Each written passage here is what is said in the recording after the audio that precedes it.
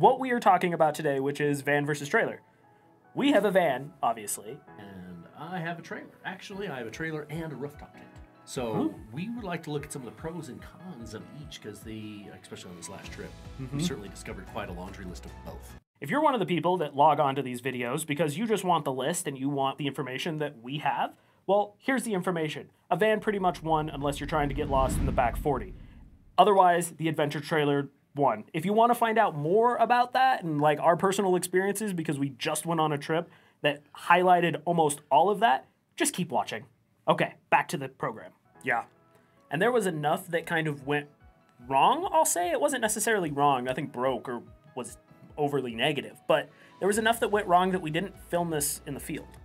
There was enough wrong where we didn't film this in the field. Yeah. That was, that was Yeah. definitely a good way to put that, yeah. I mean, it wasn't really wrong. It was just the typical stuff that you're going to run into any time that you're not within arm's reach of your house, which they were, which was one of the benefits that we found on this trip. Yes. We have a Ford T250 transit van. We have the medium length and the medium roof, which means we have 12 foot in the back, and our roof is 5 foot and approximately 8 inches tall. Right. And I took off in a 4Runner, pulling a X-Venture trailer with a rooftop tent. Yep. A Condor? Condor XL? Uh, it is a Roofnest Condor XL. Yes. Condor XL. Yep. Yep. And you have the Annex. Yes, the annex that goes onto it to extend probably I don't even know how many square feet, but It's it, it's a big room. It is a big room. It's a big room. Um, and, and it holds 22 gallons of water.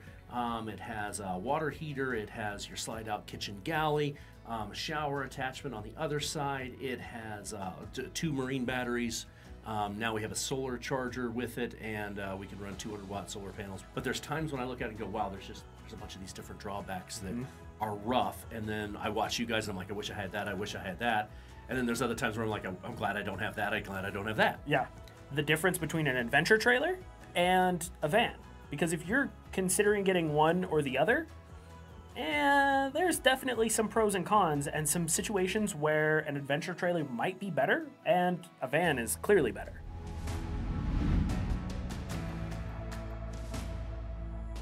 Number one for me was the fact that I can get places you can't. So I can get this little thing back with my rig to some. That was my goal because we did a lot of backpacking and I wanted to be away from people. So I can drag it back some four wheel drive trail. Um, it's very capable to get back there, set it up. Most of the places we've been, that hasn't been the case though. We've been we've been parked right next to you every time we've used it, pretty Yeah. much. One of the other massive benefits of a trailer, and it's not just an adventure trailer, it's any trailer. The fact that you can drop your trailer.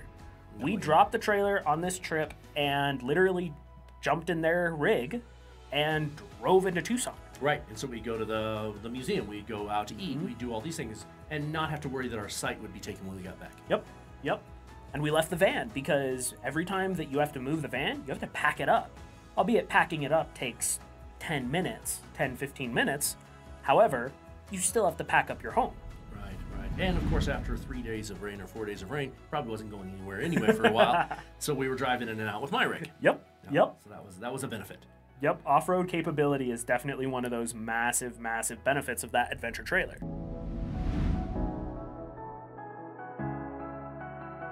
Now another thing was we built a diesel heater in order to stay warm. Um, so this was kind of a neat little device that did you talked me into, and I'm sure glad you did. Very efficient and so forth. Um, you know, ran a nice heat tube right into one side, kept it nice and toasty in there, uh, which is something that you just take for granted now because your van just has one built right in, and yet I'm hauling this thing around. It takes up a lot of space because I built it into a tote. And uh, another, I think, big advantage of a, a, uh van is that you start to take some of those comforts for granted when it's really a pain in the butt for me to set them up. And and a lot of that is simply the fact that when you build out a van, you build it out to be that mobile home base. Whereas an adventure trailer, you build it out so that you can you can live out of it, not in it.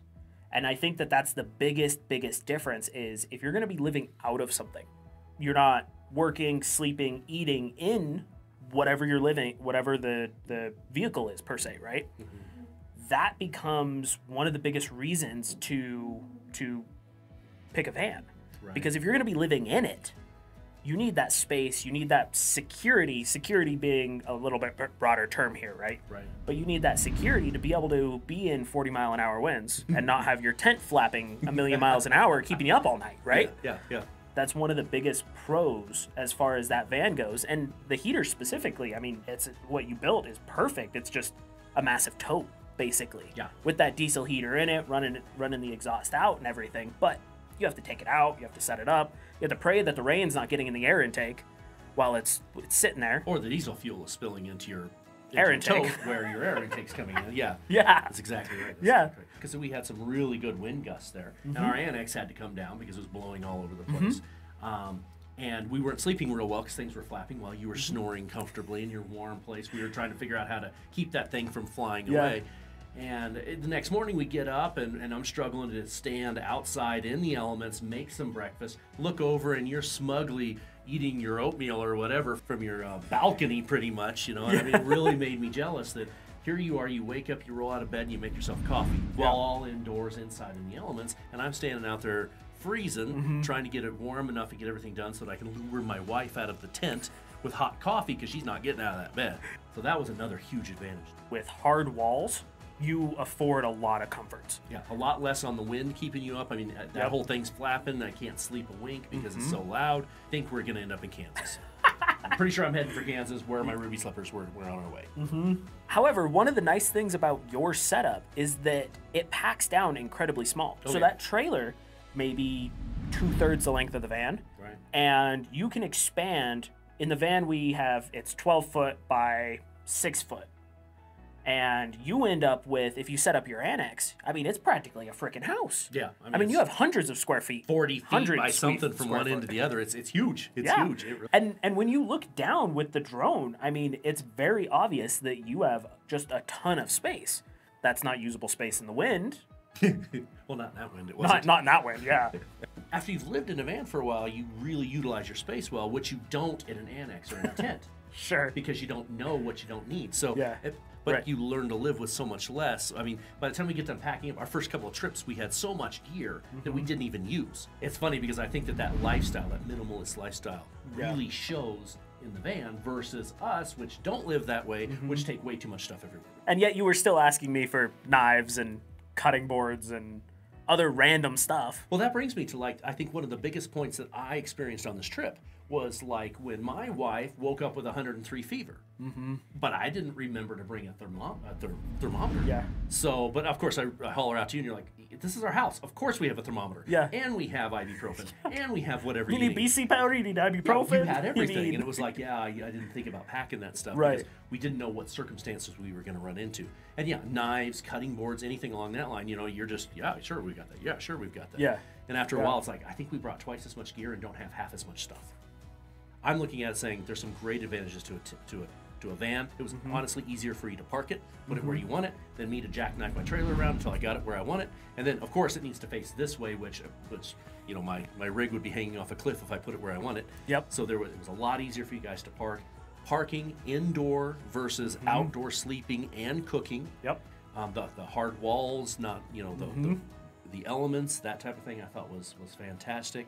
Mm-hmm. Um, just so many benefits to the van over my trailer. But of course, you saw a bunch of benefits to my trailer over your van. Yep. And one of the biggest of those is is literally the fact that you don't have a secondary car payment. If it's your only vehicle and you are living in the van, right, then it's it's kind of the same same. Sure. But instead of going out, if you were to still maintain a house lifestyle and then have a van on top of that, I mean that's a whole nother insurance payment, that's a whole nother car payment if Where you're park it. where you park it. Yep.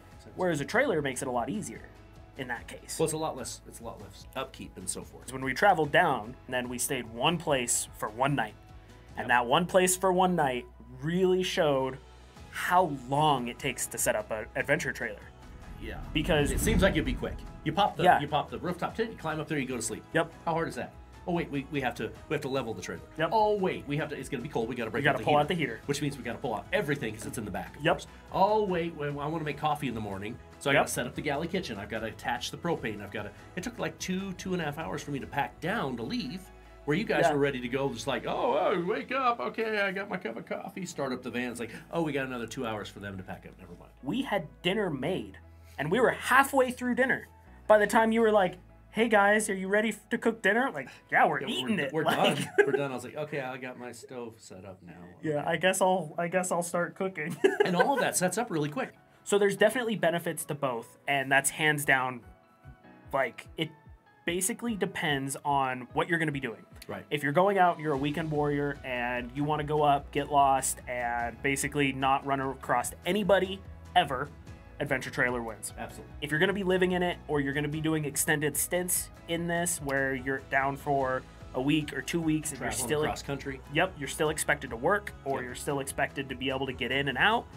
Um, Van. van, van, hands down. If you're going to be in any inclement weather, weather at all, van. Yeah, I think so too.